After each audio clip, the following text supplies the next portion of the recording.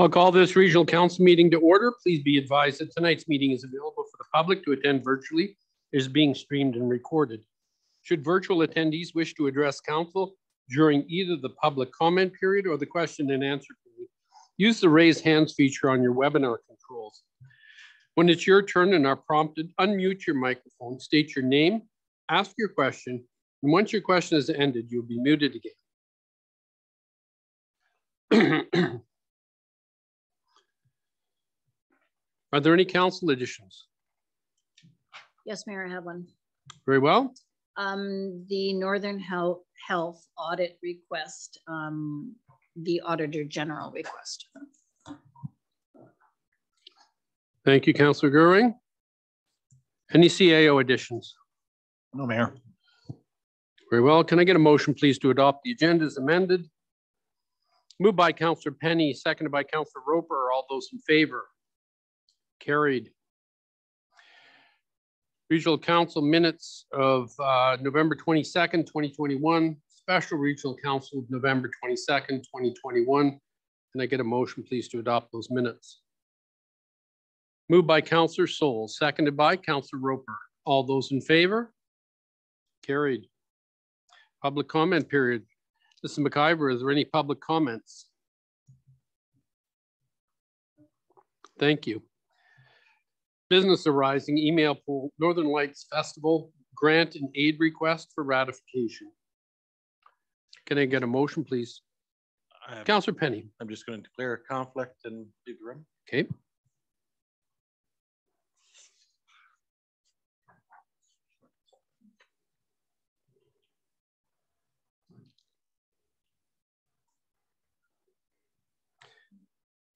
Very well. Can I ask for a motion, please? Um, Moved by Councillor Soul, seconded by Councillor Roper. All those in favor? Carried. Thank you.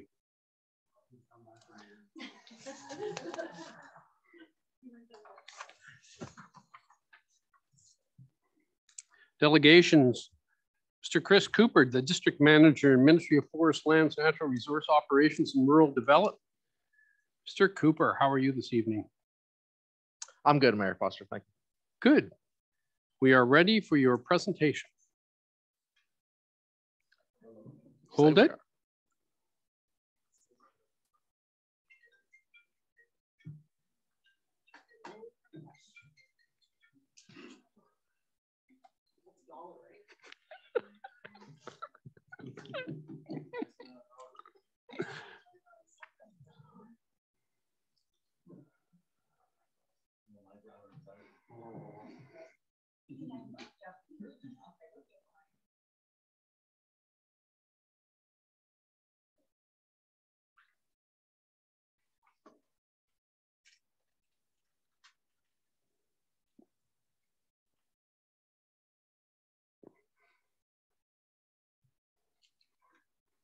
All right. So thank you, Mayor Foster and, and Regional Council for making time for me today. I really appreciate it. Um, I've come to y'all today, obviously, to, to talk a bit about the Boreal Caribou Protection and Recovery Plan.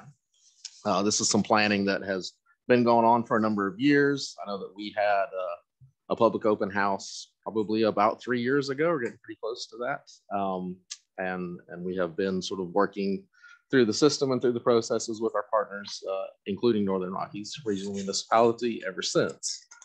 So uh, we've come to a point now to where we, we think we're pretty close to uh, being able to bring some planning documents and some information out to the public uh, and start getting public input on that. And so that's part of the reason why I wanted to uh, do this presentation uh, today. Uh, in addition to the, I understand that there's a report that Lisa had provided as part of that planning process that she's been she's been involved in um, and uh, and yeah, to to uh, to seek essentially endorsement from a Northern Rockies regional municipality to our support to to go out to public uh, and start engaging on the STRACT plan.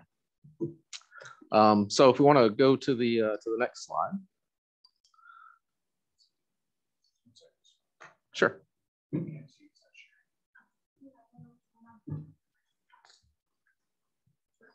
No problem.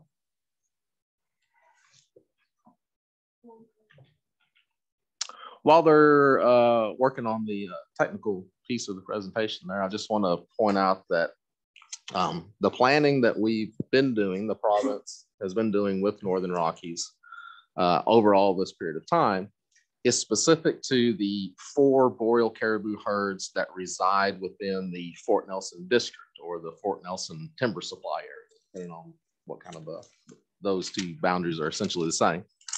Um, but yeah, depending on how you want to think about it. There is a fifth boreal caribou herd uh, that resides to the south of us in the Fort St. John timber supply area. Um, part of the background that I'll, I'll go through today touches on some technical planning that we did around that herd. But what we want to take out to the public at this point in time or, or early next year uh, is just focusing on those four herds within the Fort Nelson district.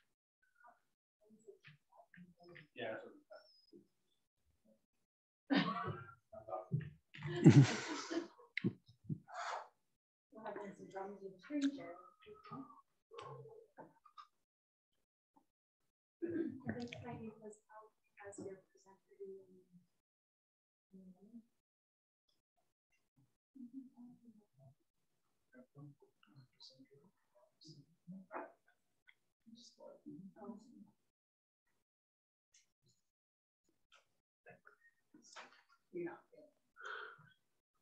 Well, the picture on the screen right now is what we normally see when we're looking at air.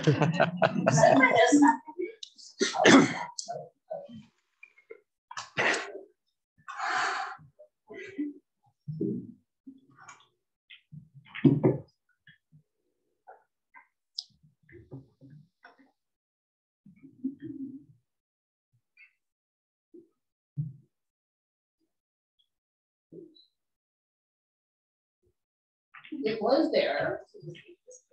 Sure was it. There it is.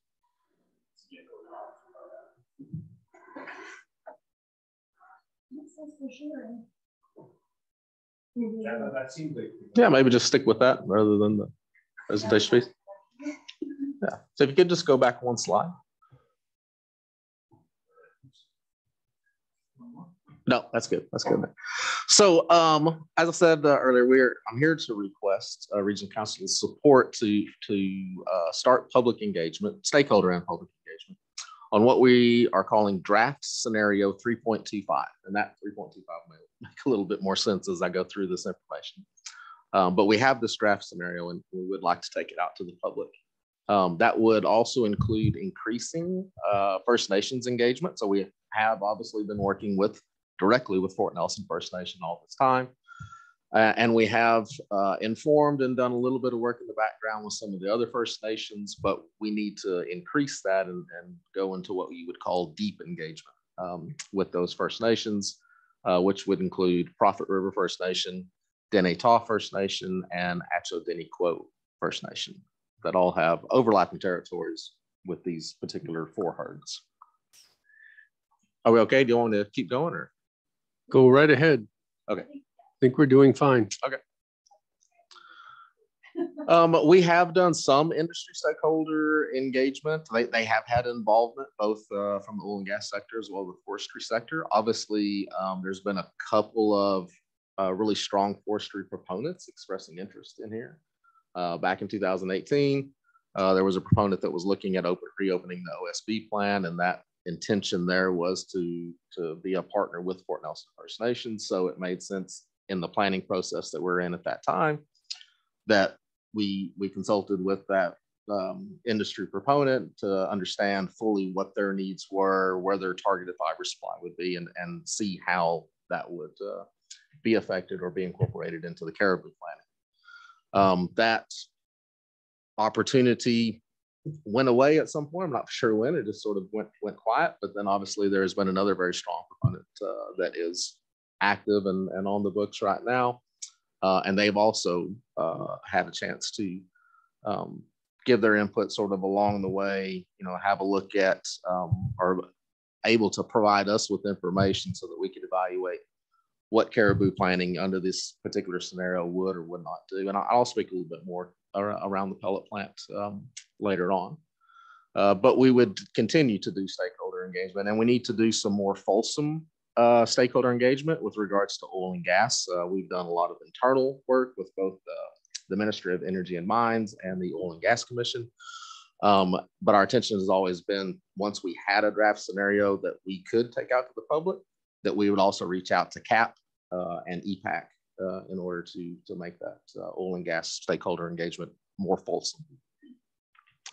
And then obviously we would launch broad public engagement, and that can be done through a number of different forums. Uh, for the past year, I've been holding a what we now call the Northern Rockies Stakeholder uh, Forum or, or table. That's a quarterly forum, uh, and so I would call a special session or maybe even a couple of special sessions for those guys that attend that. Um, we could go through the Fort Nelson uh, and District Chamber of Commerce. I know there's been uh, a number of different, uh, or that they have provided outlets for different presentations over the years. So I was thinking about approaching them to see if if that would make sense to set up a, like a virtual type presentation uh, for the public through them. Uh, obviously, I can have uh, set up uh, dedicated virtual sessions. I would love to do a public open house, but I don't know if COVID's going to let me get away with that. So we'll see when we get there, but uh, but certainly we can do dedicated uh, a number of dedicated uh, virtual sessions to make sure that folks have enough opportunity to hear and think about this information and be able provide that feedback to us. Um, with there's also the Northeast Stakeholders Roundtable, which I know is a little bit further south, but we do capture some stakeholders uh, and interested community members through that group um, that are relevant up here. Uh, and I will uh, have it sort of staged through the district office to where we can do sort of a continuous intake once we have been able to provide a fulsome, a fulsome amount of information to the public and they can, they can start thinking about that and putting their minds to it uh, I'll have a sort of a portal set up where people can just come to the district office or they can call into the district office and provide that feedback in real time and, and have the opportunity to, to have more conversation about it and ask questions, those kinds of things. Um, and then also Engage BC, which is that uh, uh, the province's sort of virtual portal for people to be able to read summaries on on initiatives like this uh, caribou planning and be able to type in and, and send that feedback directly to so that we can continue to gather it. Let's go to the next slide. Not yet. So a little bit of background. How, how did we get to where we're at today? Um, so there are currently there are protections specific to these boreal herds that are already on the land base, and those protections were established back in 2011 with the boreal caribou implementation plan. but ongoing monitoring and survey work um, that was uh, that was done um, after those protections were, were established showed that the populations of these four herds those they continued to trend downwards uh, over time and so uh, hence the need for uh, a renewed planning at some point um, after 2011 uh, the federal species at risk act recognized these four herds uh, as being red listed, so endangered, uh, which um, from a federal level put the uh, increased obligation for the jurisdiction of British Columbia to, to plan for these herds in a more stringent way and try to reverse those population trends. So in fall of 2018, the province uh, teamed up with Fort Nelson First Nation and formed a technical team and the focus of that team was to update the herd core area. So we use those terms a lot when we talk about caribou. We talk about core area where they're where the data shows that they spend a majority of their time. And then outside or surrounded by each of those cores is, is a matrix habitat or just a extended range. Um, and that's both recognized by British Columbia as well as Canada but those things can change over time as as uh, you know the populations uh, fluctuate in a, in a, particular herd. Um, so we knew that we needed to apply the most updated uh, telemetry data that the that the province had gathered over the previous years, as well as uh, bringing in the traditional knowledge of Fort Nelson First Nation. Um, and we also were able to incorporate some third-party habitat modeling, mostly from uh, Ducks Unlimited, who does a lot of uh, habitat suitability modeling, uh, which can be very informative uh, when you're trying to figure out, you know, what where where are these caribou herds? Where are they living, traveling, and, and where are their travel corridors and how are those uh, corridors functioning today versus the information that the previous 2011 uh, plan was based on. So we updated that information and, and that changed some line work a little bit. It gave us some so a little bit different look at where these four caribou herds are really concentrating at the moment. Um, and so we updated that uh, line work, and that also allowed that technical team to to draft some scenarios based on that line. And so those draft scenarios, actually, let's not go back. Yeah, let's go back a couple of slides. Go, keep going up. Yeah, stay on the background there. That's perfect. Not a little too far.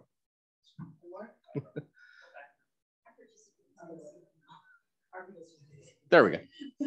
Yeah. Um, and so those initial four scenarios that were just based on the on the technical line work, the updated technical line work, we were anywhere from sort of status quo, kind of where we're at right now, um, all the way up to pretty much total protection uh, of the of the herd ranges. So not just the cores, but the herd ranges as well, that matrix habitat. Um, so that kind of just give us a gave us a starting point this was around sort of early 2019 and, and as i'm sure everybody remembers there was another caribou planning process that was going on it was getting a lot of attention in the news that had absolutely nothing to do with boreal caribou planning totally separate process um, but we learned pretty quickly that um, just sticking with uh, the province and fort nelson first nation wouldn't be as a fulsome uh, a planning team and would probably uh, would not get us where we needed to be um, just based on what we were seeing down south. And so at that point, we, we came to the agreement to bring the Northern Rockies Regional Municipality through some representation uh, as the choice of, of Northern Rockies um, to join that team as we were moving from a technical planning phase into a strategic planning phase.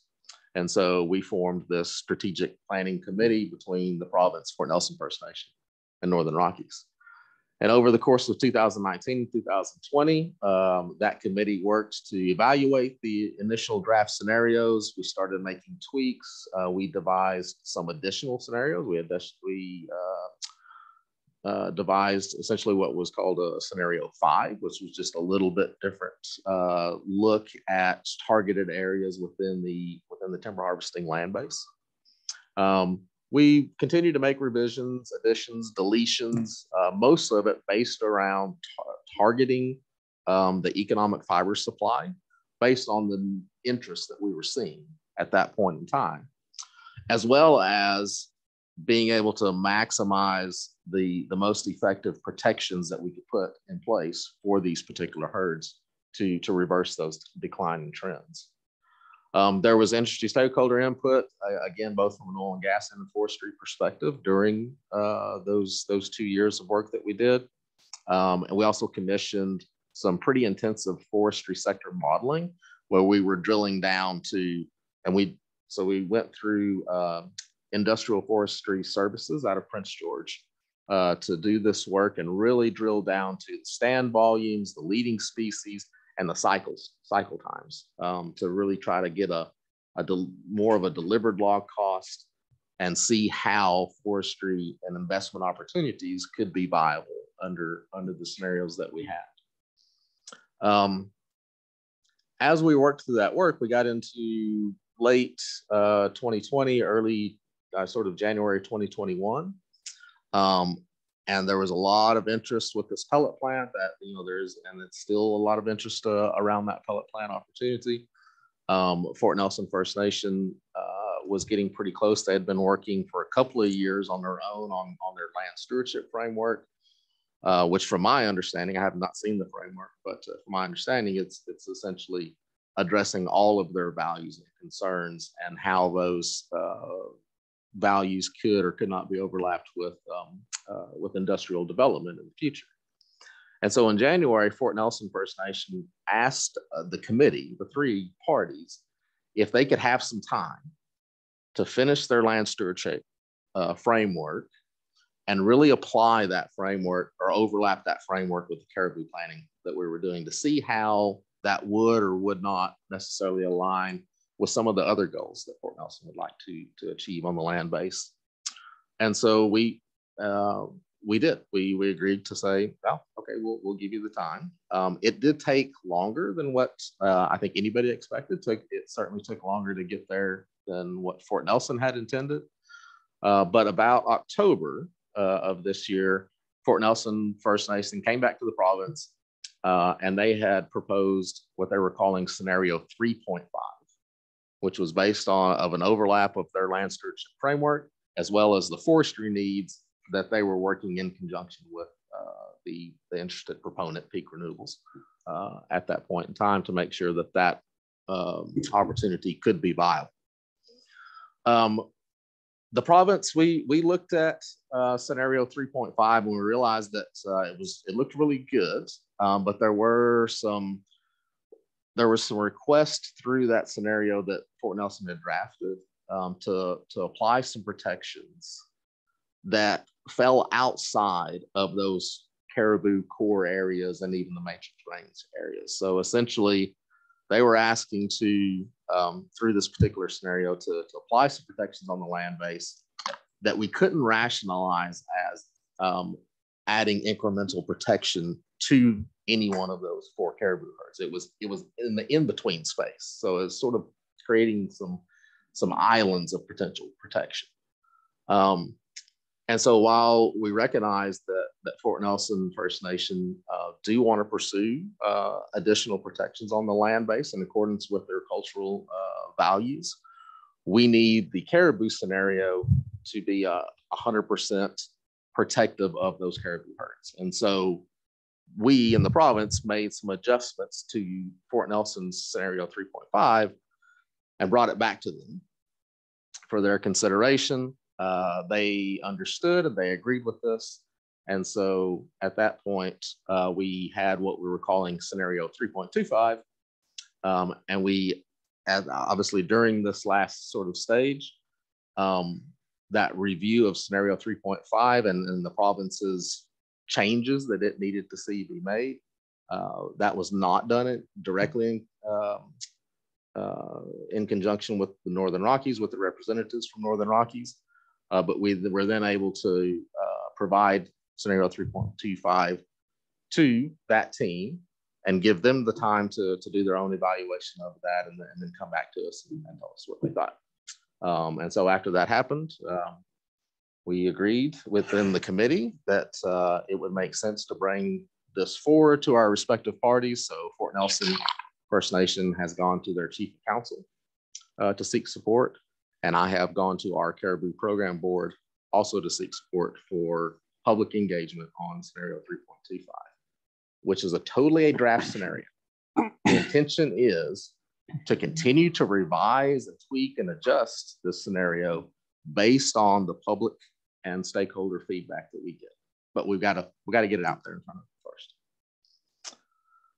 So if we go to the next slide to show you a quick map of scenario 3.25. And I, I, know there is, there's a ton of information on this map and it is very difficult to understand. And my intention is to uh, actually build a layered map to where I can pull and push layers so it'll make it a little bit easier for people to visualize what's going on when we do get out in front of the public. Uh, but for right now, this is what I've got. And all the all the grid lines that you're seeing on there and the polygons with the dots in the middle of them, those are the existing protections um, from the 2011 plan. And you can see from there, well, actually, I'll explain the colors first. uh, the green, the yellow, and the little bit of light blue that you see scattered throughout there, those, those are the protection areas. So those are the areas that we want to see protected, uh, potentially protected um, for these four caribou herds. And you'll see that those existing protections they do largely overlap the green, yellow, and blue, but not everywhere. You'll see some of those existing protections overlapping the beige or brown area, as well as that pink or fuchsia. I'm not sure what color you would call that. The beige and the pink, that's where uh, that's an area that would be open to industrial development. So it would be area that we would not protect uh, under this particular scenario which means some of those existing protections need to be adjusted And that makes sense because as we said, the updated uh, survey data that we had from 2000 or since that we've been collecting since 2011 have shown us that those protections may not actually be exactly in the right place. So there would be some tweaking of those existing protections to align with the, the green, the yellow, and the blue. The reason why there's so many different colors on this map is uh, because there are different management intents with regards to the existing oil and gas infrastructure that's up there. So the green areas would be completely off limits to anything, including oil and gas. So the reason why we can say that is because in within the green areas, there's not a lot of current oil and gas obligations. So there's not a lot of active tenures uh, for oil and gas. There's not a lot of obligations that they need to take care of. Um, and so we were able to say under the green, we can protect that 100%. The yellow, um, there is a significant amount of, of active, what uh, oil and gas refer to as unconventional tenure. And so under the yellow, uh, we're looking at areas that we could see a return of oil and gas uh, industrial development in the future. Obviously, you know, the markets have to change, gas prices have to come back up significantly, but that we could get to that point. And because within those yellow areas, the unconventional tenures that are already tenured, uh, there's not an opportunity currently for for um, the Oil and Gas Commission or Energy and Mines to buy those tenures uh, back. So if we do see um, oil and gas come back sometime in the future, we would see it within those yellow areas because we indication is they won't come back for conventional tenures. They need the directional drilling unconventional tenures to, to go after. Um, but the agreement is that if it does come back at some point, while we can't protect those areas in the yellow, we can apply uh, fairly high offsetting ratios that'll see any new service, uh, service disturbance from oil and gas activities actually continue to um, create a positive trend for the recovery of the habitat because for every kilometer of disturbance that a pipeline makes, they have to restore 10 kilometers. So sort of like a 10 to 1 offset ratio. So that's something for the future. And then the blue are uh, obligations by existing oil and gas companies where restoration needs to happen. So there's dormant site wells, there's legacy uh, reclamation program through, through the Oil and Gas Commission, um, and as well as other obligations. And so we can't cut off access to those little bit of blue areas.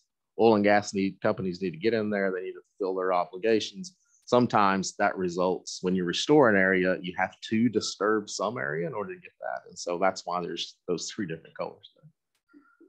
The pink are areas that we had wanted to protect, and you would see them in protections under a scenario one or scenario two. But as we realized that we needed to free up more targeted fiber supply for the viability of the forestry sector, we started um, identifying these areas in pink as really high, uh, good access to that, uh, to the fiber that is needed out there even though we would like to protect them, we need to make those viable. And so that's where you see the difference in where we change something into the pink color. That just shows us, the, the planning team, that that was previously intended for protection, and now we open that up for uh, for industrial development.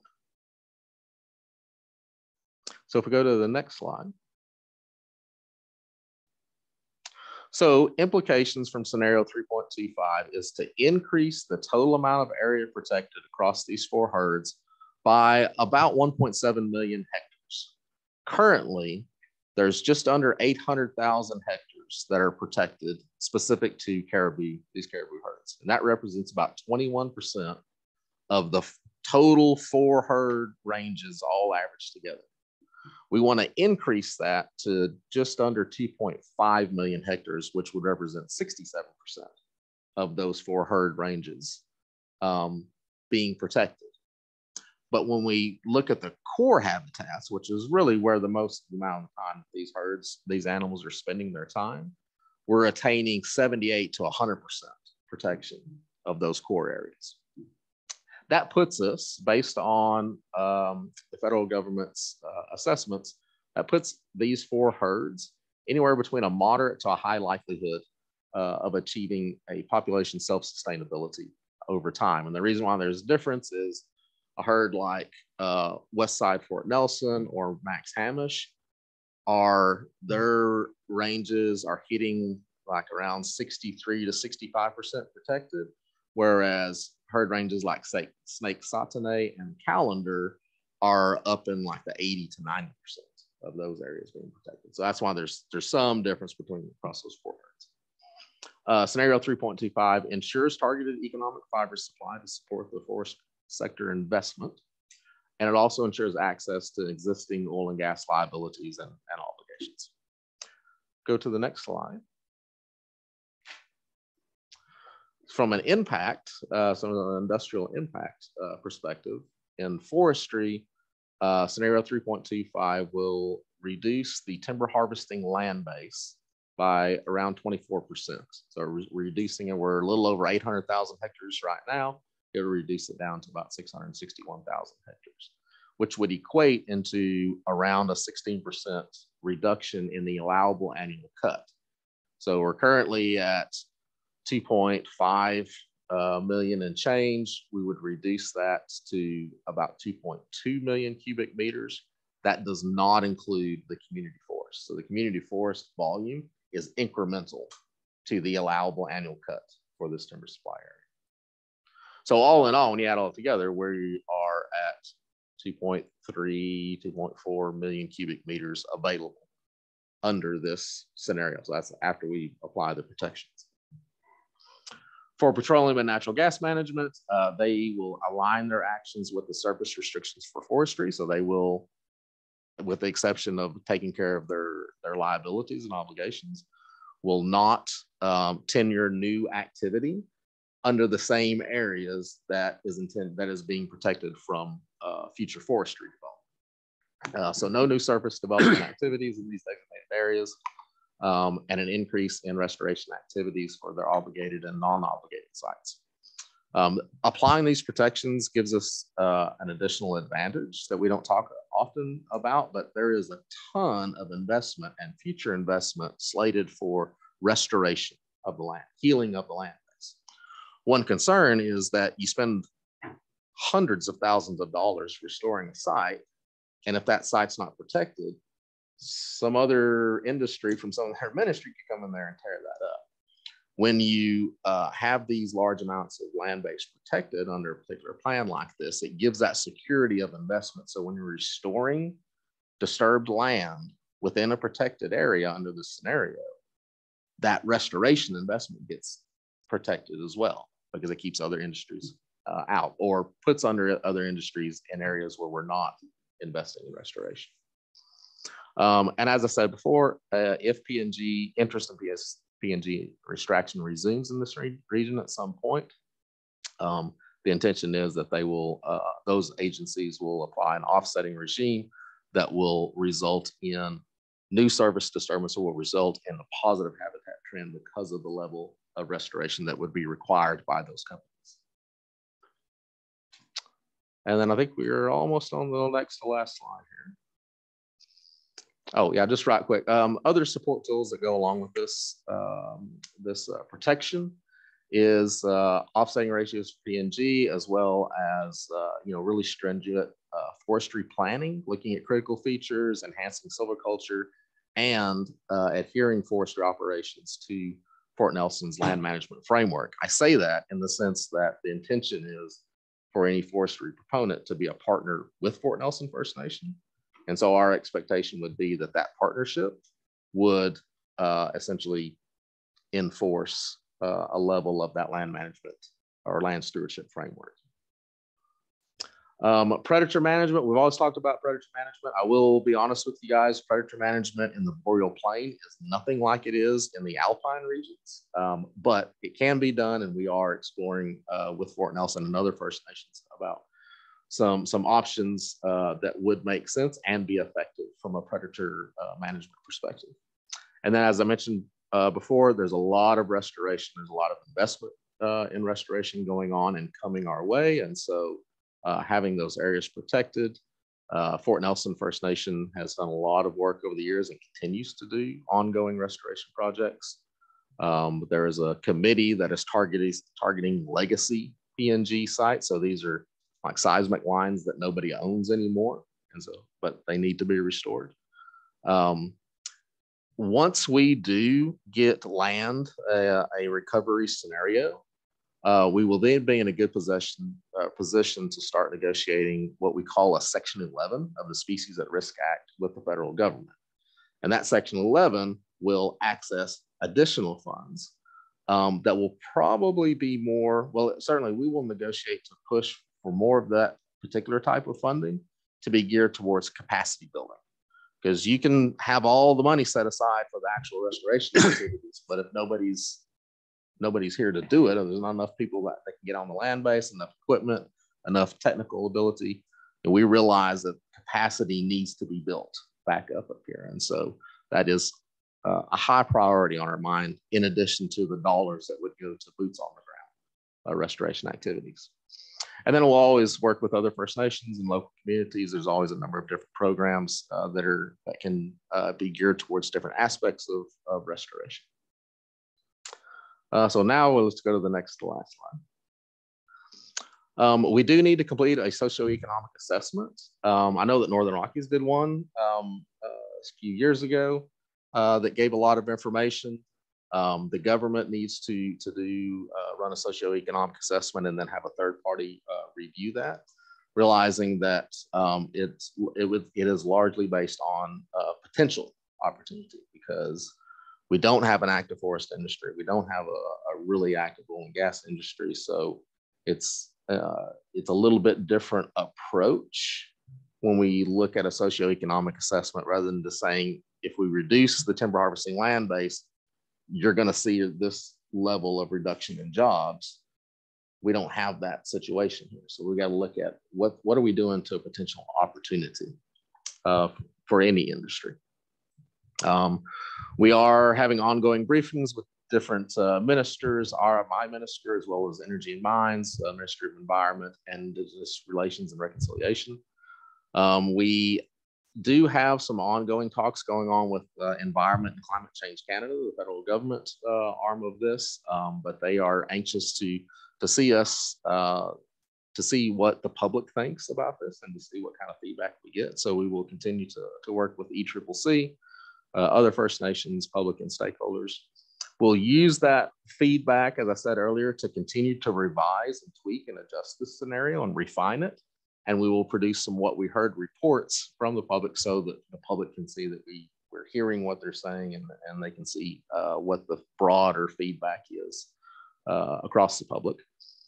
As we move towards um, finalizing a scenario and going to the province to seek endorsement for that final scenario, which would allow us to then start the process of, of enacting these protections. So with that, I'll stop and see if anybody's got any questions. Councilors, any questions for Mr. Cooper? Councilor Gerwing. Um, so you spoke about predator management, um, and I'm wondering if you have engaged with any of the people that are unofficially currently doing yeah, that? Our, our trappers and trap line holders. Yes. Yeah, absolutely. A, a little bit. Not you know that needs to be more fulsome. We need to we need to build a program that, that will make sense um, that we can then seek funding for.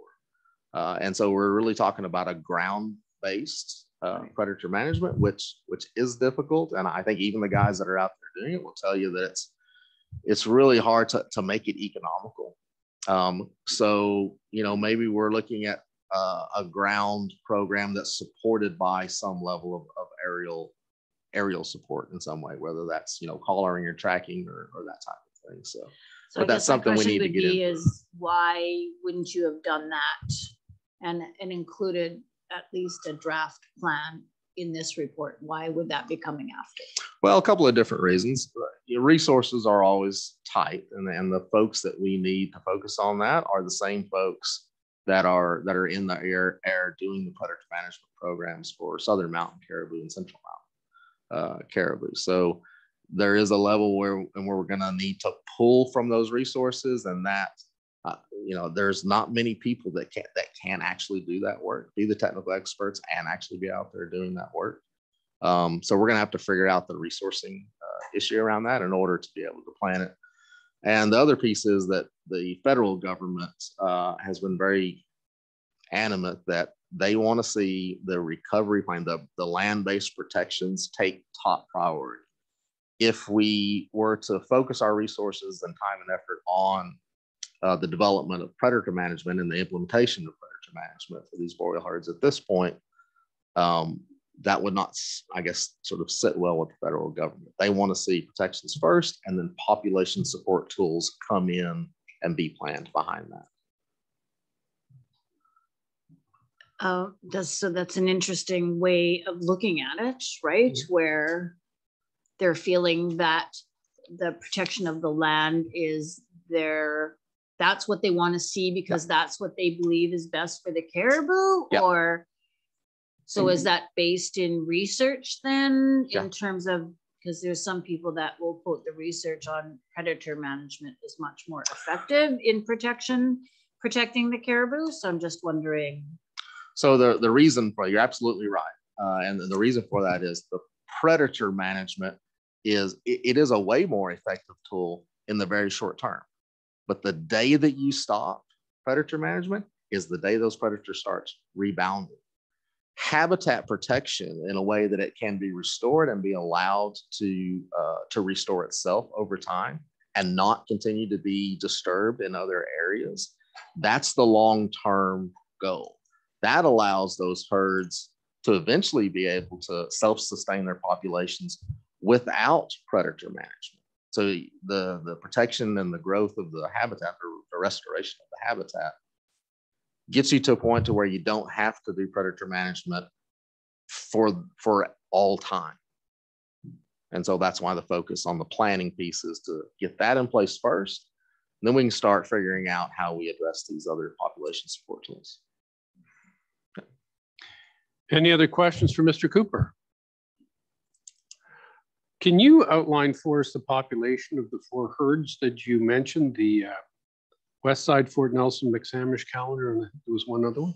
Mm, I am not the technical expert, and I noticed that uh, Michael Huck was not able to join me today. So, um, oh, is he?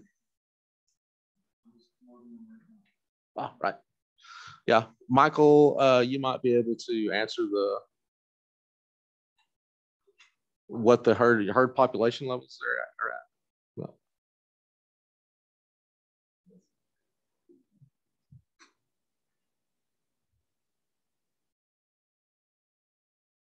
there he is. Hi, can you hear me? Yes. Okay. Um, s-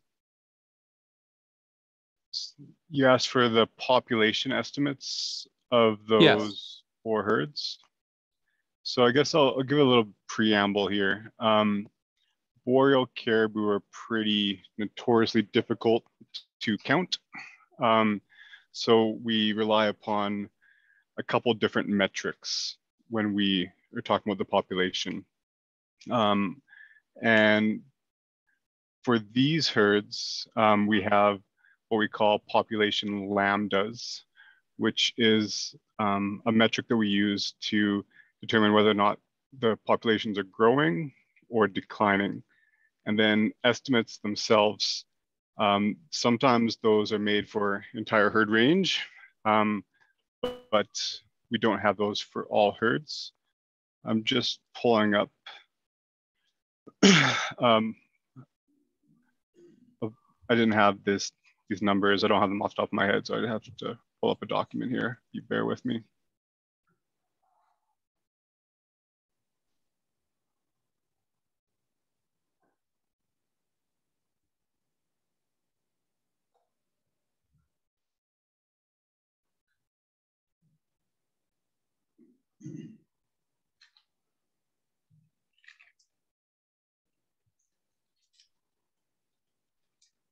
Okay. Um, so yeah, I have caribou population growth rates um, for the periods of 2013 to present. Um, I'm not able to share my screen by chance.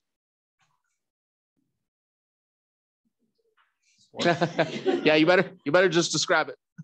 Okay. Um, yeah, so in the calendar herd, which is the Northeast, um, it's a trans-boundary herd with Northwest Territories and Alberta. Uh, the populations are have increased um, recently. Um, the Chinchaga herd, which is not part of this planning process, uh, but resides in the Fort St. John timber supply area within the Peace Natural Resource District. Um, it's continuing declining. Um, we've been doing predator management in this area the last two years, and we've noticed a slight uptick in recruitment. Um, so that population is stabilizing, but again, the long-term um, trend has been a decline. The Maxhamish herd, which is in Fort Nelson, um, this herd again has been declining, um, but in recent years there has been some stabilization. Um, so we're seeing that the caribou numbers aren't uh, decreasing to a great extent. Um, the Snake-Sahtaneh, um, we've seen the, the numbers uh, go from declining to slightly increasing recently. Um, and then the west side of Fort Nelson, we've been seeing continued declines. I think the current population estimate for west side Fort Nelson, um, well, we actually were just doing a survey there uh, this last week and we saw 60 caribou, so that's a minimum count. Um, and then the Chinchaga, the number is about 150. The calendar is, looks like to be about um, a minimum count of around 75 and the Maxhamish looks to be about 100 but what i can do is commit to sharing with council um, these most recent reports um, that synthesizes this. And this is obviously going to be a major aspect of public engagement is to tell this story and we'll have those kind of numbers in a more polished presentable fashion format Thank you, Mr. Huck. I guess you know, when I hear that the government, particularly the federal government, says these are species at risk and, um, you know, in danger of extinction, and then I hear that they really don't have any hard numbers on how many there are, I wonder how they came to the conclusion that they were um, in, in such dire straits. And I'm not disputing that maybe they are, but I find that the science is a little bit uh, a little bit fuzzy here when when they say that there is a certain condition, but they don't have any hard numbers for it. So I look forward to those numbers. Um, and I'm encouraged that some of these numbers are going up, um, despite the fact that uh, I guess not, not much has been done to the herds uh, lately to increase them. So I don't think there's been very much in the way of predator protection or other than just the trapping that usually goes on. So I'm a little encouraged that those numbers are going up. Um, are there any other comments from any counselors? Very well. Thank you very much then, Mr. Hawk, Mr. Cooper. Appreciate you Thanks, coming. Um,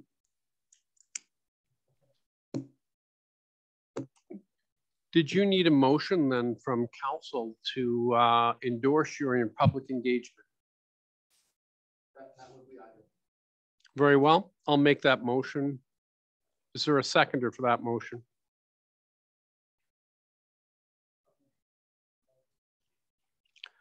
Seconded by Councillor Soles. All those in favor? Oh, Councillor Gerwing, you had some comment?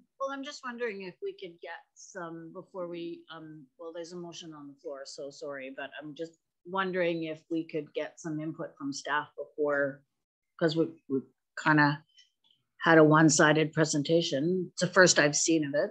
Did, did it, I don't know whether it came earlier and I missed it, but um, first time I've seen it, so. Very well, I don't have any, uh, I don't have any uh, problem withdrawing that motion and maybe we will get some uh, staff comment on this. Mr. Barry?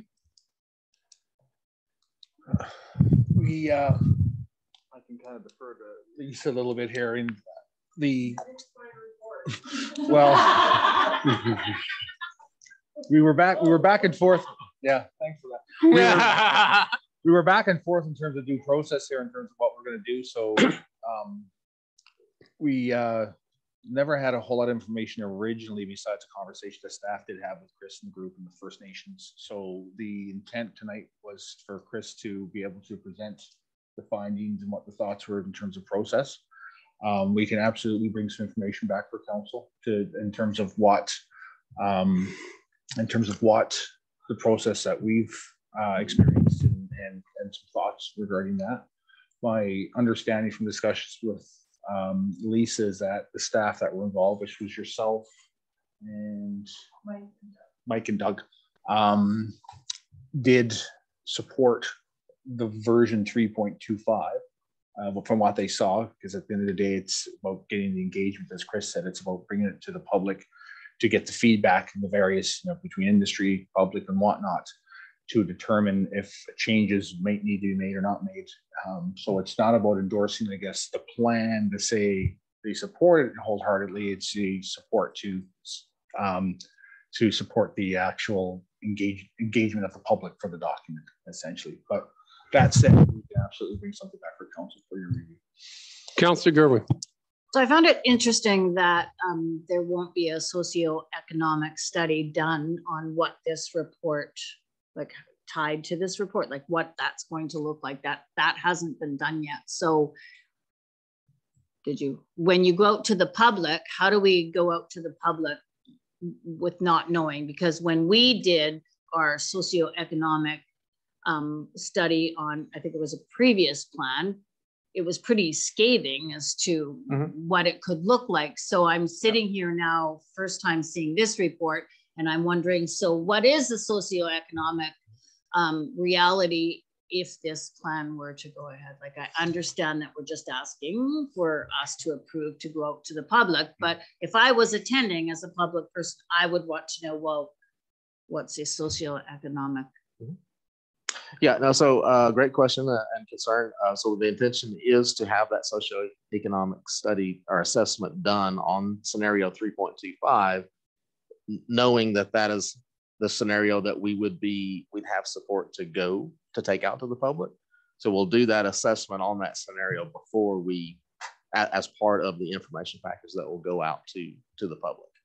We could do it now, but if I don't have support to go out to the public, am I wasting my resource at that point, or should I get support and then do the socioeconomic? So I guess my issue is if you're asking for our support to go out to the public, I, I mean, public engagement is always good, but if you're asking for our support for scenario three point five, then we No. definitely need to go back to our staff to get some information on that. So, Yeah, now, I- we're not asking for uh, the regional council's endorsement of the draft scenario.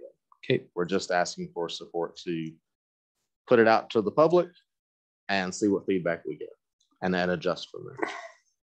and would that, when you went to the public, would that be, that would not be including then the socioeconomic? No, it Impact. will. So I'll, so we can do that. And, and Mike, I think you had, I know that you were getting that lined up. Do you want to be able to speak to the timelines on that piece? Yeah, I can. So um, one of the trickies with with the socioeconomic assessment here is that we're talking about opportunity cost loss. Um, so we've been using metrics such as timber harvesting land base and impacts to that to be able to inform uh, the the level of acceptable trade-offs between effective habitat protection as well as ensuring that there's enough access to the forest to support investment in the Fort Nelson Natural Resource District. So um, we've been using those core scale metrics, um, but that doesn't convert those um, into uh, things like jobs, government rents, and those other um, indirect effects. Um, so we've currently got this scenario, um, the fiber supply analysis completed, and then that's what the economists need to be able to develop these secondary multipliers. And we can have that um, soon. Um, it's in the it's in the works to be done right now. Um, and then from the petroleum and natural gas side, uh, our partners at Energy and Mines are also doing internal assessments to speak to what these implications are, and that'll form part of the engagement. Um, but we need to be able to engage with industry stakeholders to really ensure that those numbers um, make sense. Okay, thank you. Um, I think I think the uh, attitude of council here is that we're going to consult with our uh, administration here before we endorse anything, and then uh, we will take a vote on that at a later date, unless somebody has any objections. Councillor Penny. I'm just thinking about time of the year and our meeting right now. By the time we get this back, um, is this something we're going to take care of then in a special meeting the next week or so? I, I, I don't want to hold this up any further. And I can just imagine trying to decide a social impact of uh, any closures. I mean, really, for the last 13 years, every area could have been closed had that much effect because nobody's there. So I, I appreciate how difficult it is to try to figure out the effects of, of closing these areas. And it sounds like you guys have been uh, doing a great job, but I don't, don't want to delay this getting out to the public any longer than we have to. So I'd hope that we could get back to it soon. Very well, perhaps a special meeting then. Yeah, we can pull something Mr. together. Berry? council available Before the break here. Thank you. Thank you, and thank you, Mr. Hawk, and Mr. Cooper, for your presentation today.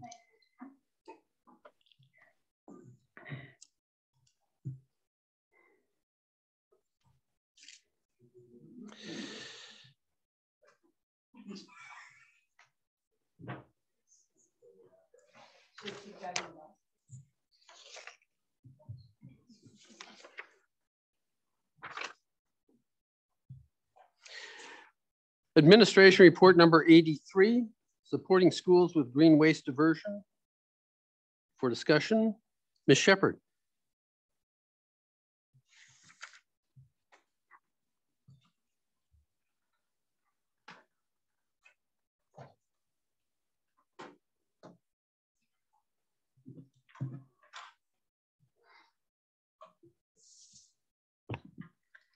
Hi, Mayor and Council. So this report comes back um, in follow up to Council's request that staff explore options to support schools and green waste diversion initiatives back in October.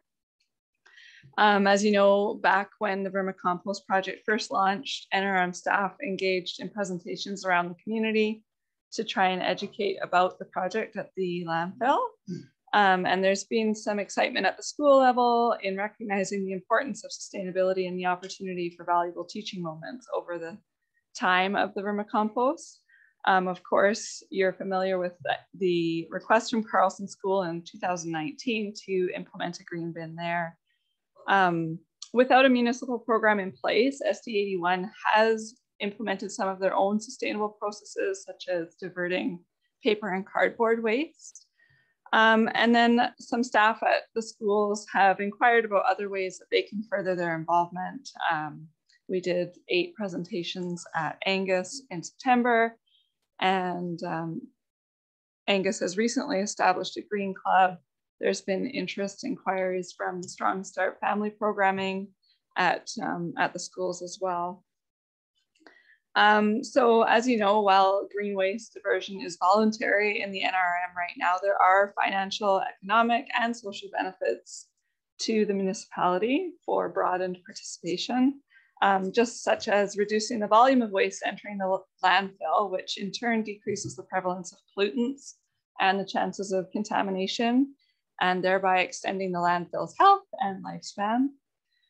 Um, in understanding how to best support schools with furthering their green waste diversion programs, I think it's important to understand that there are various processes by which an organization might engage in that process. So currently, as you know, you can um, contract a commercial green waste disposal bin, you can hire a local green waste pickup service, and then of course people can drop off at the transfer station free of charge.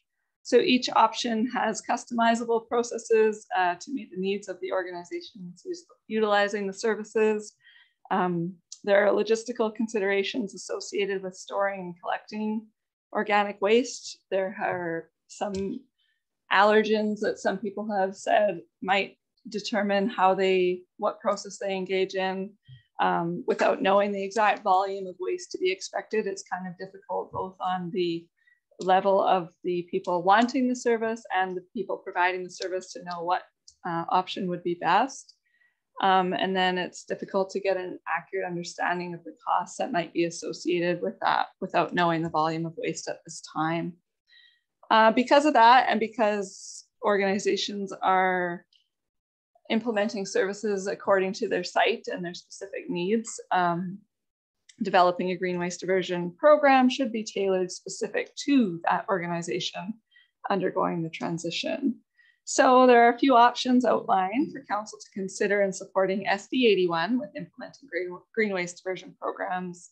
Um, council may wish to provide a one-time or annual grant. Funds could be allocated to specific environmental clubs to support implementing green waste diversion programs or a transition to that, or costs costs for green bin tipping fees or organic waste collection services could be subsidized. Um, for discussion. Thank you. Councillor Gerwing, I believe this is your portfolio. Any comments? Yeah, what a great report as always. Um, thank you very much. Um, I really liked um, the point um, for the highest likelihood of success, implementing green waste diversion should be tailored specific to the needs, capacity, and engagement of the organization. The hospital is also very interested in moving forward with a green waste um, plan. So yeah, I'm very much in support of whatever each school needs. And I think it's going to look different for each school. Um, and I would like to see us move forward this school year so that we don't lose another year. We had a great project um, at Carlson School but since that, we've had COVID and now we have a new waste management um, pickup service in our community. So um, that might depend on, that might influence how different schools are participating. I would like to have a conversation um, at the council table. Are we speaking about green waste only? because currently it's my understanding that school district 81 is taking care of all the paper and cardboard from all of the schools and when we were operating our pilot project at carlson we allowed the paper and cardboard to go in the green bin so i don't know whether we would be entertaining that notion again or are we simply wanting to subsidize the um, green waste diversion or is it maybe going to be flexible for different schools or different organizations like Ms. Shepard, any comments? Um, yeah, so SD 81 does have a process in place for diverting their paper and cardboard waste. It is my understanding that when the bin was established at Carlson that um, it could house all the cardboard and organics um, and paper uh, that would be up to council's discretion and just um, I guess in noting that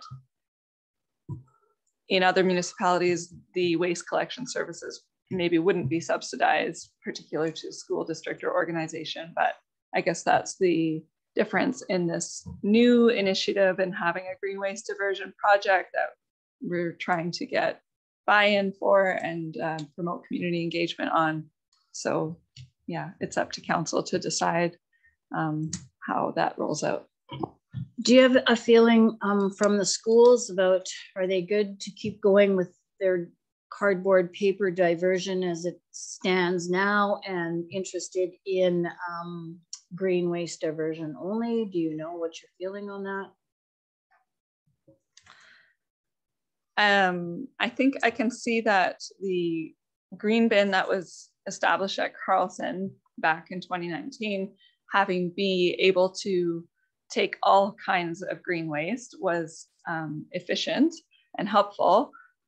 I think that there would be challenges for that moving into um, summer season with wildlife and the frequency of tipping.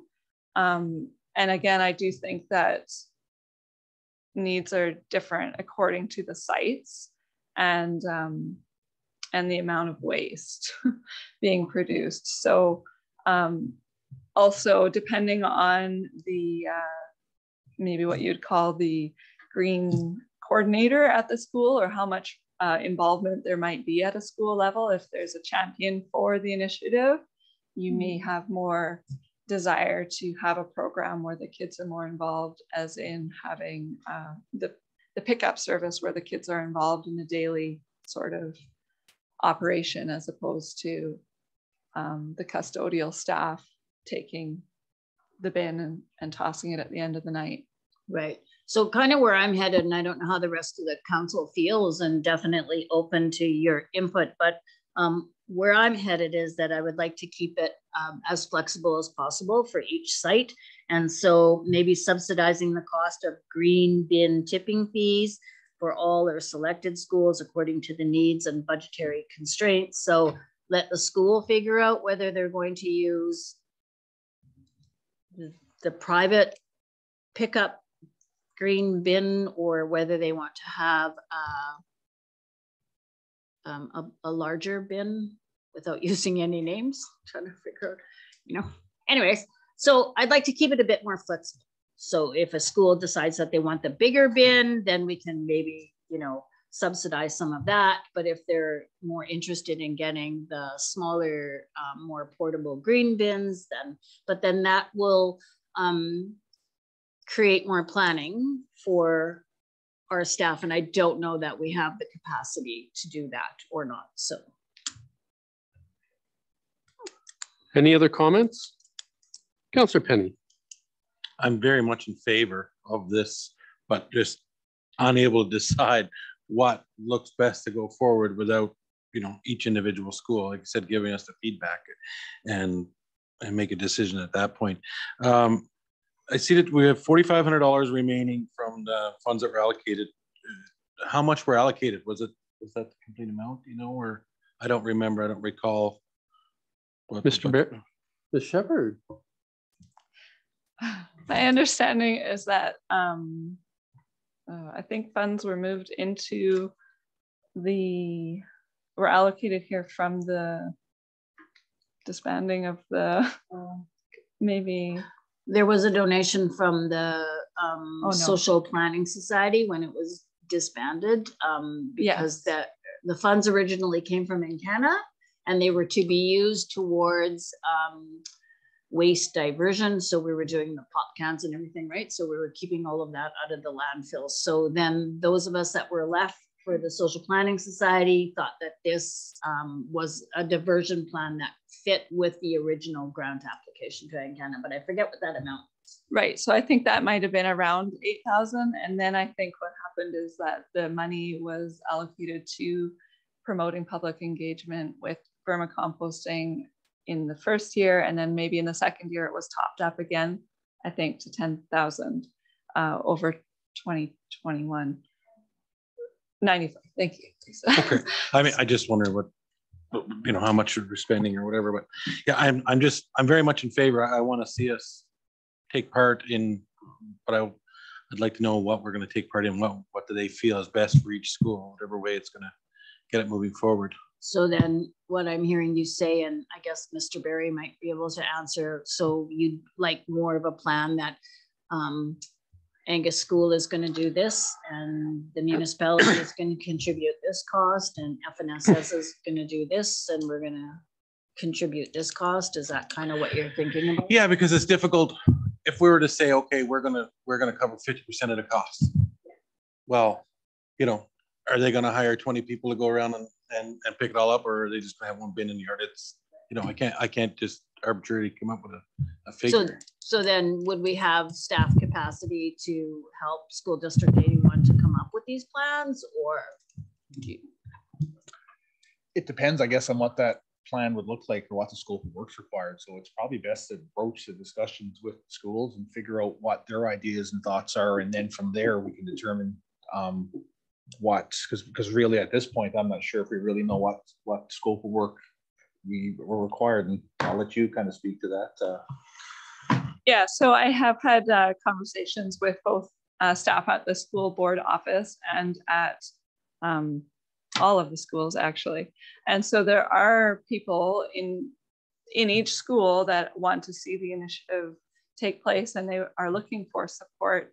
Um, I think I think that they have ideas about how they would roll roll out within their own schools and um, yeah, I'm not sure that it, the understanding that I have is that they could they could carry out their processes in the absence of there being a municipal program. They have been um, very proactive on the environmental and sustainability front. So um, from my conversations, they're very eager uh, to kick off a program and to implement something. They might just be lacking a bit of funding to um, to get that started. So uh, it does seem like there are people at each school ready and willing to um, to drive that forward. So um, on item number two, allocate funds to each school to support environmental clubs with a focus on green waste diversion efforts. Um, if we are tailoring this to each individual school, um, maybe that's maybe that's a way for this conversation to happen to see what their ideas are of funding that they would require to achieve their goals um, in, in, the environmental file, I guess. So um, I'd, I'd like to see us engage with the schools. I also would like to congratulate the Green Club of the RL Angus for, uh, you know, starting this club and, uh, and being proactive in getting, um, getting involved in environmental issues. So um, I guess I'm looking for a motion here to instruct staff to engage with School District 81 um, to see what sort of um, green initiatives they would like and what sort of support that the municipality can give them. Do I have a seconder for that motion? Seconded by Councillor Gerwing. Uh, Ms. Shepherd, how long would it take to accomplish this? Engage with School District 81? um, just in in that it's the holiday season, I um, I can get in touch with my contacts and hope to have something back to council at the January meeting, I, I suppose, or do we have two? we won't hold.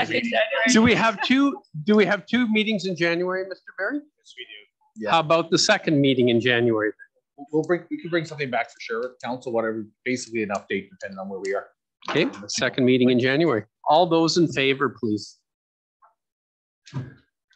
Uh, did uh, Councillor uh, Andrews leave us? Yeah, Councillor Andrews had the. Okay, very well.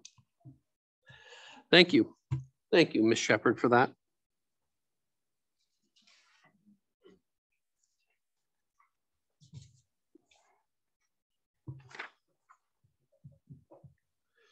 Administration report number 84, I'm sorry, uh, 80, yes, 84, Parks and Community Facilities bylaw update.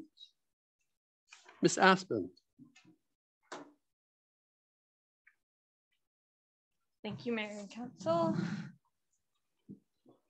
Um, we bring this report back to you um, as we said, as an update on our process that we started back in April um, to bring forward a parks and community facilities bylaw that outlines our um, general operations of our parks and facilities with inclusion with our um, uh, fee schedule. Um, so at our last meeting, we brought um, a couple um, topics for discussion um, to determine the criteria for setting fees in the future um, at our um, parks community facilities. Um, and we had went forward with the community comparison model for determining our fees. Um, which at the time we had um, done a sample of our fee structure. So um, picked a few key areas. Um, and then going forward from there, we did a more fulsome examination of our entire fee structure using the um, community comparison model. And we indicated several areas where there's a very significant increase in the fees um, if we were to go forward with implementing these changes, um, as they would go um, greater than 25% um, increase in the areas listed, including um, some specific rental areas such as the youth rentals in our um, larger viewing area space, so the full space, um, as well as our rental items, which without um, many communities of renting individual items out, um, there was a um, commercial comparison done with other communities. Um, if we went in a commercial um, direction, then there would be a larger than 25% increase. Without other comparisons being available. Uh, another area with a significant increase is our arenas and dry pads, which um, there are um, several things we can do to mitigate some of those increases um, that uh, listed below. Um, day camps as well were another area in which um, there was a bit of an increase or a bit of a higher increase in our seniors fitness um, as well, which was historically an area where we've um, kept low for um, attracting um, people to use the facilities. Uh, skiing classes with equipment was a fairly new um, program that we took on, and that one was another area where um, there's a significant increase compared to other communities. Um, swimming lessons and especially private swimming lessons. Uh, those were another area where we were um, quite a bit lower than other communities and family swimming memberships. Um, conversely, we had some significant decreases in some areas, including our community hall rentals um, for commercial rates in particular, and our child and family climbing. Um, that one is more inclusive of our rules that we have for um, entering into the aquatic corridor, which was a secured area, um, which past that point, there was you know, nothing to determine which um, activity we're going to do, either courts or climbing or swimming. Um, so the fees were inclusive of a swimming um, pass as well as a climbing or a court. Um, after examining that, that practice isn't necessarily um, fully um, utilized. So people aren't necessarily going climbing and then going swimming and then going to the courts and going swimming. And we have more history now to pull from for that. Um, and our adult drop-in fitness and water fitness um, it was a little bit higher than other communities. So that would decrease um, with a community comparison and as well as our ball diamonds. Um, that was a fairly significant decrease um, compared to other communities. Um, so in pulling all this together, we have highlighted a few ways where we could mitigate the potential increases in these areas, um, including um, in some cases, um, excluding Fort St. John and Dawson Creek because they're larger communities, um, we'd be able to reduce that um, gap, um, particularly for the arenas. That would make the highest impact there. In some cases, Fort St. John and Dawson Creek were the only, um, only comparison for some of our services, um, since some of the smaller communities don't have the same services um, that they would. so it wouldn't be a fulsome, just exclude them across the board, um, but it would be um, something that we could look at for um, some of those um, higher level areas. Um, we could also look at setting base rates at our adult rate, which we could then apply percentage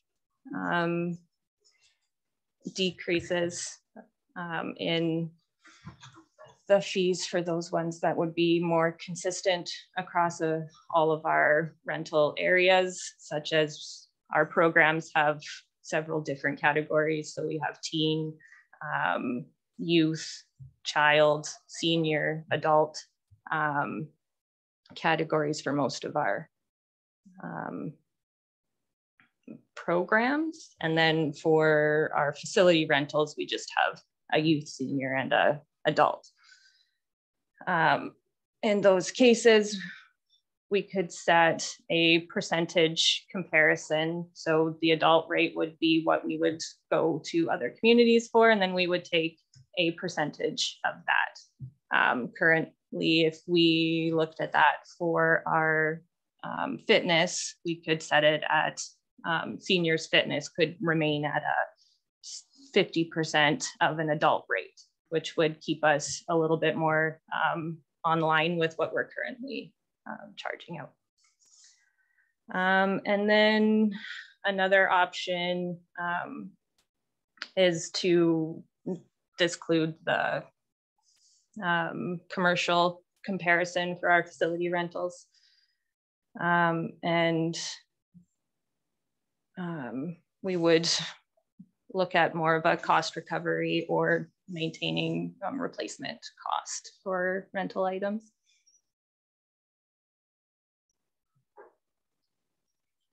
Um,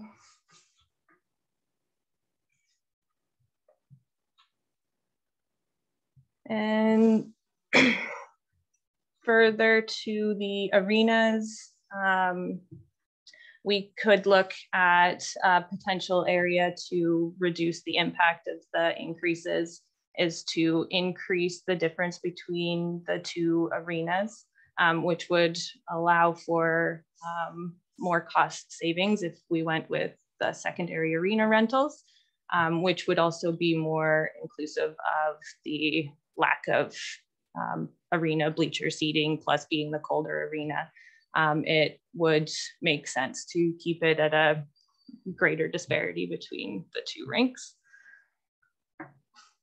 And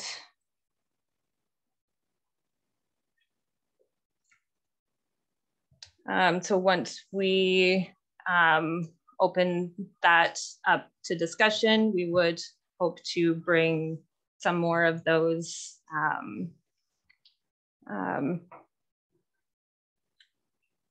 to the fee schedule, which would go into the bylaw for when we bring it to council for adoption. And that would be um, hoping to take place later in um, the spring. Um, so it wouldn't take place immediately at the beginning of the year. We would hope to roll that into one of our leisure guide um, rollouts. Thank you. Are there any questions for Mrs. Aspen? Councilor Penny. Um, actually, not questions so much. I uh, I would don't really want to see us have any increases in fees unless absolutely necessary. Um, in discussions with with visitors over the last little while and and residents everybody is so pleased with our facilities and the accessibility um, to every level of, of resident here. I wouldn't want to see it change unless it absolutely had to. Um, and just a couple of new residents i ran into this weekend were just so excited i mean about our facilities. And i can just imagine how hard it must be to compare us to any other community because uh, even thinking about that our, that we might have higher rates for commercial community hall rentals and that sort of thing. After being in many other communities, I haven't seen anybody with facilities that even come close to comparing to ours. So I can imagine our rates would be comparable, you know, be a little bit higher than, than your average community hall. But as for uh, swimming and any of those activities that families take part in.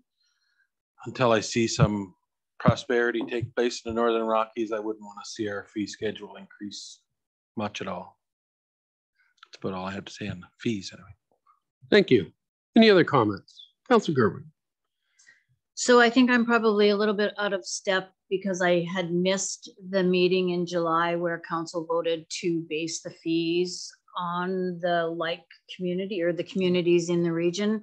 And so like I missed that meeting. So, um, you know, wasn't there. Um, so I just want to say, I know we all know this, but our reality is very different from our neighbors. And uh, they, they have a whole different economic happening there than we currently do now. So I believe that deciding a rate structure based on communities in the region has shown by what um, has just been presented tonight that, you know, it's going to mean increases and I'm not going to vote to support any rate increase unless there's a dire need to see that happen.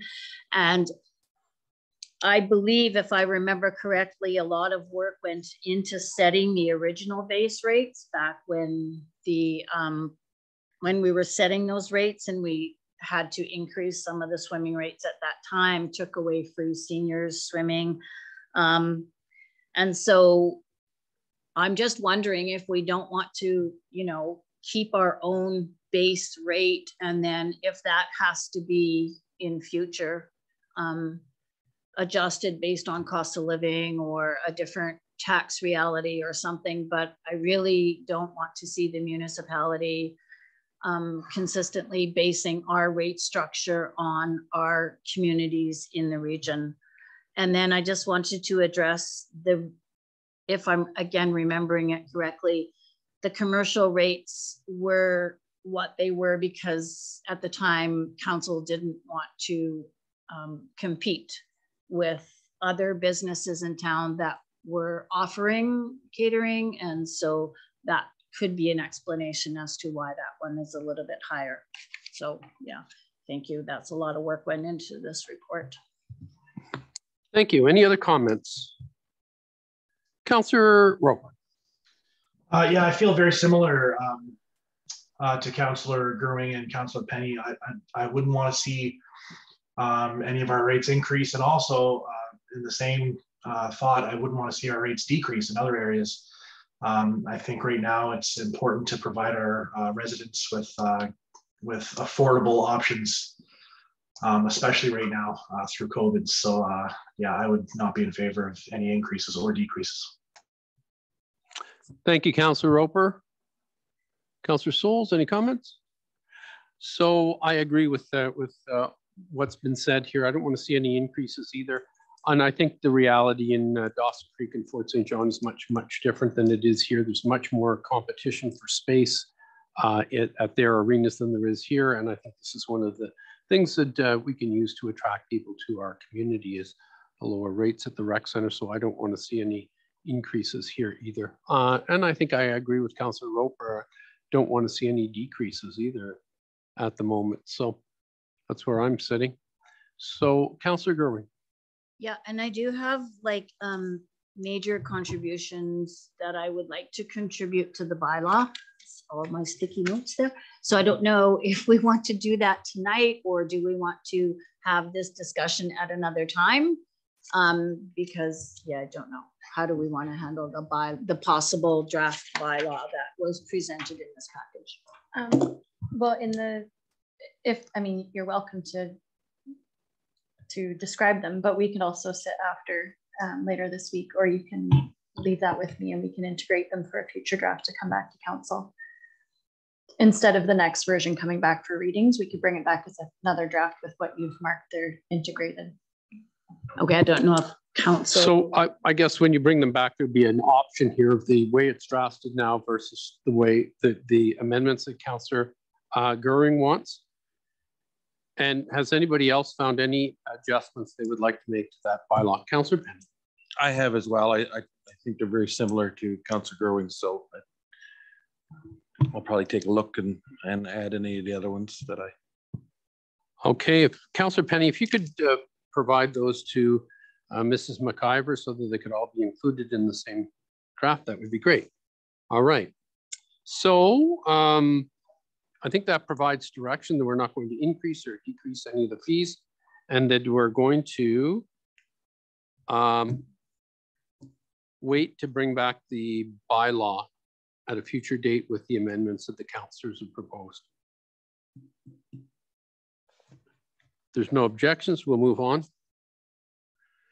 Administration report number 85, Royal Canadian Legion, Military Service Recognition Book or decision.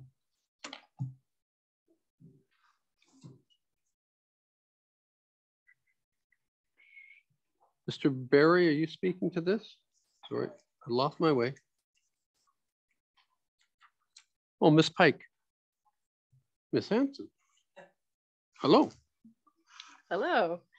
Um, it's a short report. Um, basically, it's a, a, redo of the last 12 years. I believe we've been, no, nine years that we've been contributing to the, um, the Legion BC Yukon Military Service Recognition Book.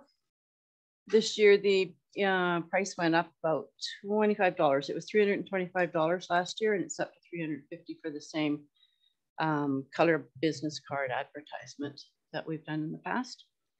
Um, there are other options available, and um, I just put in a couple of sort of the color ones that are on the lower price scale for council to consider. Thank you. Any comments, councillors?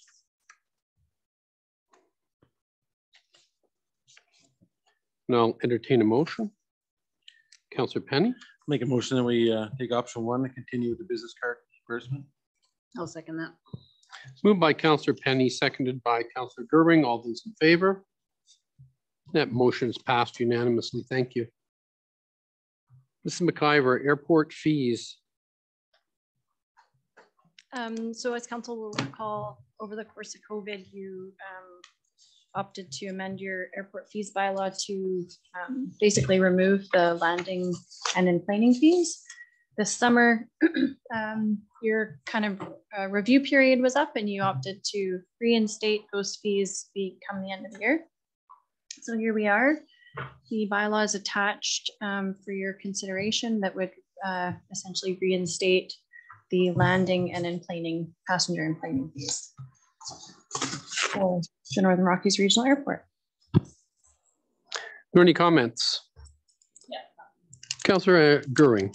Um, so when I compared the previous to the new ones, I, unless I maybe didn't see it, which it could be, but um, on the new one, it says a direct phone line at a cost of $208.50. I'm just wondering, um, is that new? Can I have an explanation? Is that per phone line? Like, what is that going to mean for businesses operating there? So all it is, is if you've been in an airport, you have the phone that you pick up and call a cab. Yeah. Or a hotel.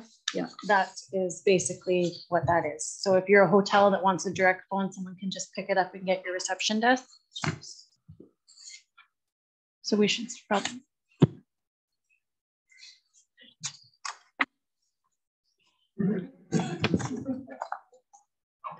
Um, we can admit that apparently that service is no longer available at the airport, which didn't uh, get communicated. So okay, so that will be was, removed. Yeah, it was. Okay. It was offered for many years. It was never in the bylaws. So right. we're essentially charging a fee without having the authority to charge the fee. Okay. So we gave ourselves the authority, but now no. Now we don't have it. Perfect. So. Okay. that was not a. Oh, yes. Are so, there any other comments? So if you'd like to, uh, you can give it readings with that amendment. So then it, when, when it comes back with adopt uh, for adoption, that will be removed. Very well. So I'll make the motion of the airport fees amendment, uh, aircraft landing and passenger enplaning bylaw number 199, 2021 be given first, second, and third reading with that amendment. Seconded by Councillor Gowen. All those in favor? Carried, thank you. Um, Northern Rockies Regional Hospital District. Uh, 2022 provisional budget adoption bylaw number 76.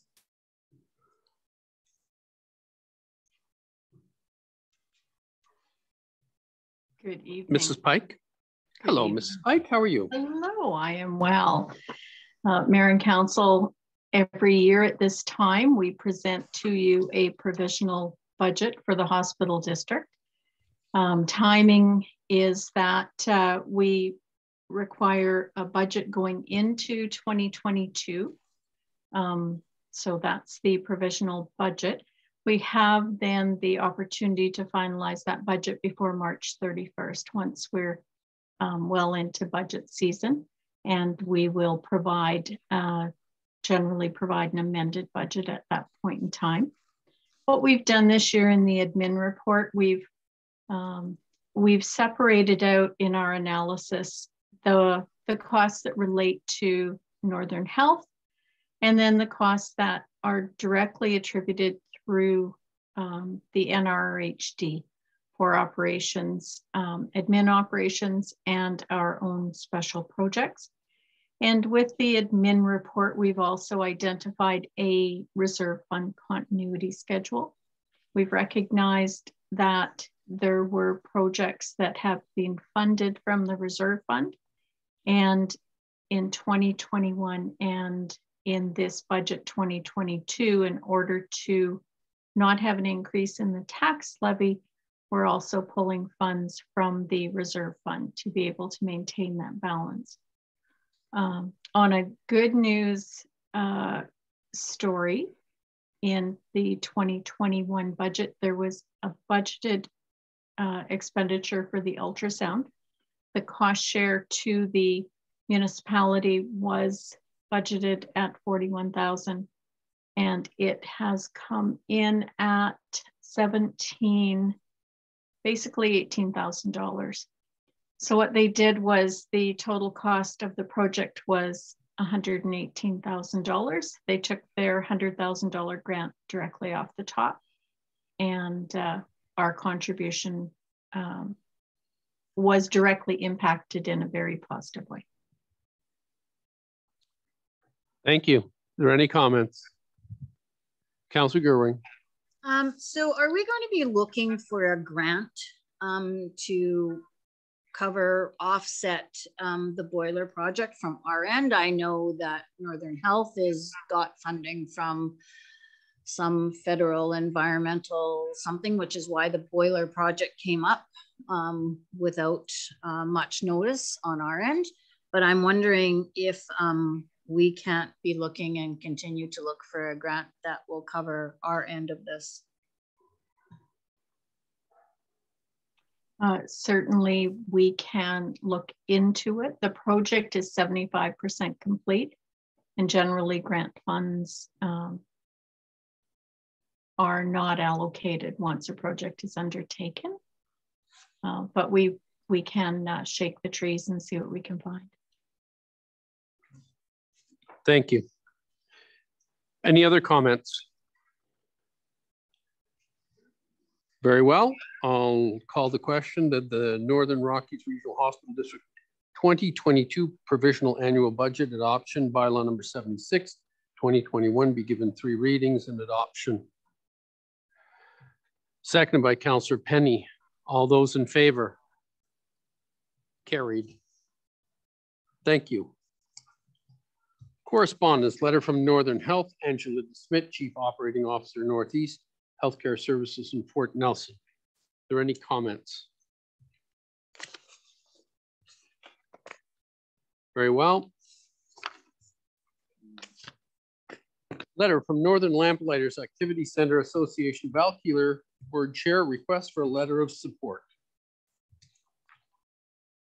Any comments? Councillor uh, Gerwing. I would make a motion to write a letter of support. Very well. Seconder, please, for that motion. Councillor Soles. All those in favor? Carried.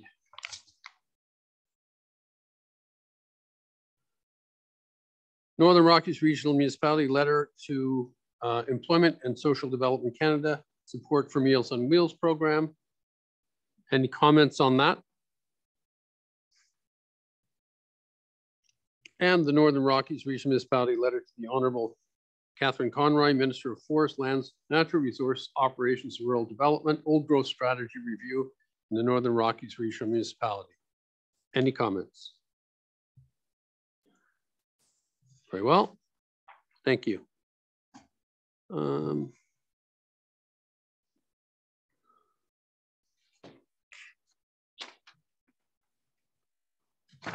C for information, council information package, December 1st, 2021. Council information package, December 8th, 2021. Uh, new business items, Councillor Gerwing. Okay, thanks, Mayor. Um, so I sent out an email previously so that you people would all have the information, uh, but I did have a resident that contacted me after our last meeting where we talked about um, sending a letter um, in support of the Peace River Regional Health Board District something request for uh, an audit of Northern Health. And um, we had agreed to send a letter. Um, so this person contacted me and asked if um, council would entertain the notion of sending in a request, not a letter, because you can um, send in a request to the Auditor General um, to have uh, an audit of Northern Health. So I uh, put together some information on the Auditor General. I don't know if you'd like me to share it now or if we are interested in um, entertaining a notion to uh, put in a request um, to the Auditor General for uh, an audit of Northern Health. Um, So Councilor Gerwing, why don't you share the information from the Auditor General about the Auditor General, just for background for everybody? Thanks.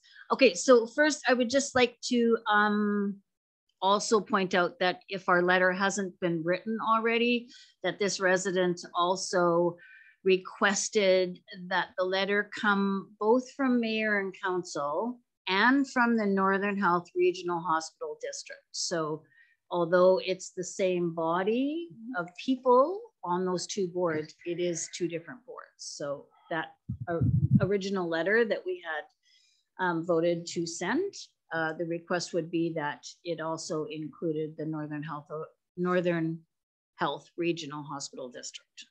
So it, would that be okay with council if we did that? Sure. And if so, I would make a motion that reflects that. I'd second that. All those in favor? Carried. Okay, so I just did a really brief research into the BC Auditor General when the resident called me, and um, it's a nonpartisan, independent of government, and reports directly to the Legislative Assembly. The Officer of the Auditor General conducts audits, reports on how well government is managing its responsibility and resources, and makes recommendations for continuous improvement. The office serves the people of BC and their elected representative and is responsible for auditing over 150 organizations that make up the government reporting entity, including ministries, crown corporations, university, colleges, school district, and health organizations. These are organizations that are controlled or accountable to the provincial government. So interesting that the Office of the Auditor General engages in two types of audits. There's a financial audit and a performance audit. So both types of audits are carried out in accordance with the assurance standards of the Canadian Institute of Chartered Accountants. So briefly, the performance audit reviews the wider management issues of an organization or program and whether it is mm-hmm. achieving its objectives efficiently, economically, and efficiency. They are sometimes called value for money audits because they can advise whether there is value received for the money being spent. Performance audits span a variety of topics and sectors, including healthcare. Uh, financial audits are the majority of the office's activities. Financial audits usually state whether an organization's financial statements are fairly presented and free of material misstatements, meaning significant errors. They also audit other financial information such as compliance with federal agreements. Couldn't find anywhere where, where it says that they will actually look at you know, how much money is coming into an organization and, and then how, if it's being spent um, to the best use of the dollars. I couldn't find that under the financial audits. And um, then there's just a little bit of information on how audit topics are chosen. The office regularly assesses the government's environment and ranks potential audit topics based on a combination of impact, so on dollars and people, urgency, and their capacity to do the work. The, um, to accommodate emerging priorities, uh, their work plan is reviewed and adjusted regularly. Um, they assess the interest of legislatures, MLAs, and the public in potential audit topics. And uh, they encourage us to send our suggestion. There's an, you can do it by letter, but there's also an online uh, portal that you can um, put your request in there. Uh, yeah, so that's that was my kind of brief research on what the Auditor General does. Oh, and I should add that um, the office has conducted many audits, as I stated earlier, um, but they include, they did an audit of the recruitment and retention of rural and remote nurse, nurses in Northern BC. So they audited Northern Health in 2018, and they made nine recommendations in terms of um, recruitment and retention. So if you're interested, go on the website because it's quite interesting. Um, yeah, so they found that, um, well, I'll let you read the report because it's, yeah, there's some positives and not so many positives on recruitment and retention for Northern. Okay. Um, well, thank you for that, Councillor Gerwing. I think that's very informative, and particularly the part about uh, Northern Health being audited for retention, uh, retaining workers in uh, the North, because I think this is one of the most important things that face all the communities in the North. Um, the Resource Municipalities Coalition is drafting a letter, which I signed, and then it's gone back for a bit of a rework about the particular direction that the Resource Municipalities Coalition is going to take regarding um, requesting the government to do an audit of Northern Health. Uh, so this was just um, exactly what they were exactly what they were requesting to audit was going to be massaged a little bit before they sent it off. Uh, I contacted the uh, head of uh, North Central Local Government Association, Corey Ramsey, and told her that um, we would like to see that uh, audit of Northern Health put on the uh, agenda for uh, North Central Local Government Association next time they meet. Um, I think we're, this is going to be an ongoing thing where the the individual members of the North Central Local Government Association, the Resource Municipalities Coalition are going to be looking at exactly what they want the government to audit. And I think the idea of getting the Auditor General um, uh, to audit uh, Northern Health is a good idea. And I don't see any reason why we shouldn't uh, include them or write a separate letter to them either way, um, requesting an audit. So I will leave that there. Uh, was there a motion, Councillor Gerwing, that you wanted to make? Thank you, Mayor. Yeah, I would absolutely make a motion um, that we uh, contact the Auditor General requesting a performance audit of Northern Health. Very well. Do I have a seconder for that? Councillor Roper. Seconded by Councillor Roper. All those in favor? That is carried.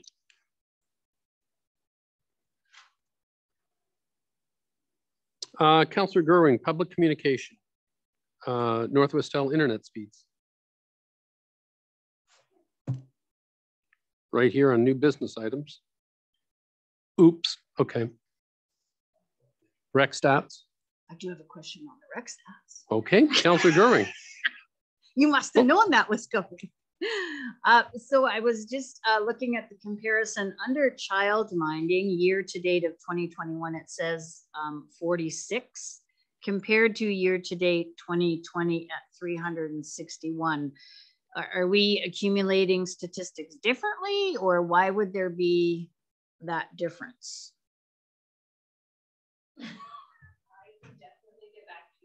That might be okay. a. Thank you. Yeah, might be a typo.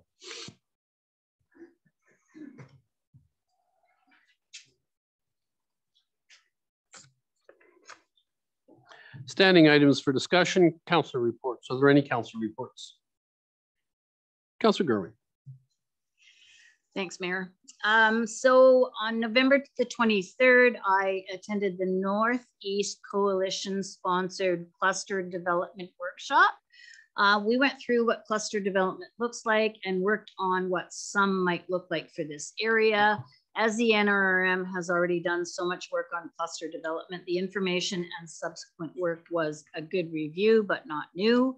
That said, we had a really good conversation on what cluster development might look like around a community's social services. So it was kind of a different slant. I attended the chamber board meeting on November the 25th and December the 9th. And as I reported earlier, the chamber will now be meeting twice a month. And additionally, once a month, they will have a general chamber meeting. So three meetings a month is what the chamber will be having as the chamber liaison, um, that I, I will find that to be a bit much. Uh, but the board is developing a policy and defining expectations for their council representative. And as that policy moves forward, I will keep you informed. And just a reminder that the chamber general meetings are open to any chamber member, and we are all chamber members. So as council, if you wanted to go to the general meetings, you could do that. Um, the chamber applied for and received a grant of $51,000 to deliver uh, shop local initiatives. So watch for um, details coming out. It's going to be quick. It's like February turnaround for that. So there's some good things planned. Um, I attended the Community Health Plan Steering Committee December the 3rd. Uh, we received notification there that the boosters, the COVID boosters would be available mid-January, although um, that has changed and everybody, well, lots of people got not notified on Sunday that they're opening up now and I definitely got mine today. So if you need a booster, uh, you can call the health unit or book through the provincial online booking app. And um, lastly, on the community health planning is the referral numbers from the clinic are once again uh, available to committee members. And um, of note in November, there were 100 referrals, including general or orthopedic surgeries. So these referral numbers are invaluable as we continue to work towards equitable access to health services. So thank you. Thank you, Councillor Gerwing. Also attended the uh, cluster development and I found it was good, but I think it was more oriented towards business. I didn't really see much uh, in the way of opportunities for municipalities to participate other than encouraging businesses to get together and look for synergies. Um, attended the Resource Municipalities Coalition meeting in Fort St. John um, and discussions ensued around several topics, including the, um, uh, the current um, decision of um, the provincial court on um, the Blueberry um, decision. And that was a major topic of discussion. Any other council reports? Councillor Penny. Uh, as a representative from the Rotary Club, I know most people have probably seen the stats come out in various places, but just wanted to bring a little bit of light to um, there was a goal set by Rotary at the end of September to raise $50,000 towards the new CT scanner that we're going to be asking for from Northern Health. And um, Dr. Mostert agreed to match dollar for dollar with Rotary uh, over the next two years is what the goal was set for. And just from their uh, Rotary auction, they raised $43,300 there was additional cash donations, which the mayor would be privy to at least one of them, uh, for twenty-four thousand dollars. And there's still a raffle in place right now, which will be drawn for before the new year, which is expected to bring in another ten or twelve thousand dollars. So a goal set for the next two years of fifty thousand dollars has been uh, met and exceeded by thirty percent uh, within three months. So I think that that goes to show great work done by Rotary, but it also goes to show how much the community is behind this initiative to get the CT scanner. So something that we all need to keep in mind around this table when any more talks come up to Northern Health one in that respect next spring, hopefully. Right. Thank you. Absolutely. Thank you, Councillor Penny, for that. Yes. I Councilor forgot Gerwing. to turn the page. I have one more. thing Very to- well, go ahead. Sorry, I, I didn't want to go without telling you our great news on the Environmental Advisory Committee update. So I've met with Hillary um, twice, so she is going to be the staff liaison for the committee. So I'm pretty excited about that. And I met with Scott once. We've created a formation work plan. Um, we're working on the terms of reference. We already have a call out and have sent invitations to organizations identified in the report to council for committee participants and already have a few applications. And we anticipate that our first committee meeting will be in February. Thank you.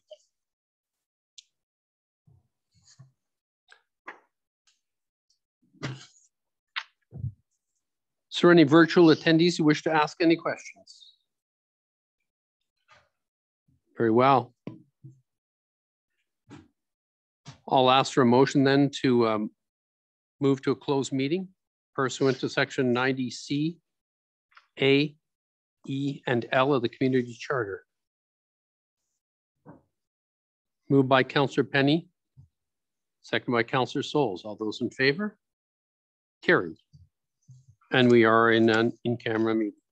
Call the regional council meeting to order. Mrs. McIver, is there anything we can rise report?